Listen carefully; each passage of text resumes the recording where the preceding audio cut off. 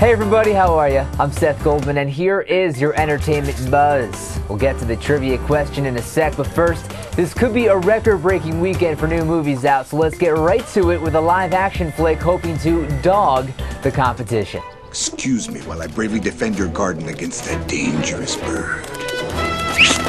Beverly Hills Chihuahua features a ritzy pet that gets lost while on vacation in Mexico and in need of help from friends and strangers in order to get back home. Spoil.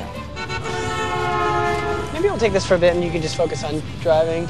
In Nick and Nora's Infinite Playlist, two lonesome teens make a love connection as they prowl the streets of New York looking for their favorite band's secret show.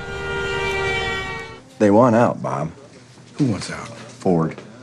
Based on a true story, Flash of Genius has Greg Kinnear taking on the Detroit automakers who he claims stole his idea for the intermittent windshield wiper. So you're an actress. So you've not won any Oscars then?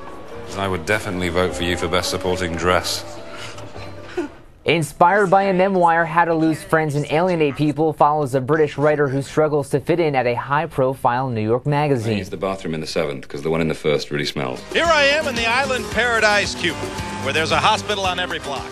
If you hate Michael Moore, you'll love American Carol, about an anti-American filmmaker visited by three ghosts who try to change his perception of the country. In the first 24 hours, there were hundreds of cases, or so the rumor says. Uh, all the same, no pain. Blindness is a thriller that pushes society to the breaking point when humans begin losing their ability to see.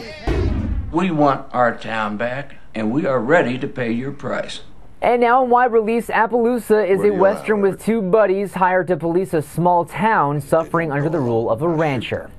Or Mr. Hitch does. All right, now that I'm out of breath, those were a lot of movies, man. Uh, here comes the trivia question now. All right, getting back to Beverly Hills Chihuahua, which famous actress lends her voice to this pampered pooch?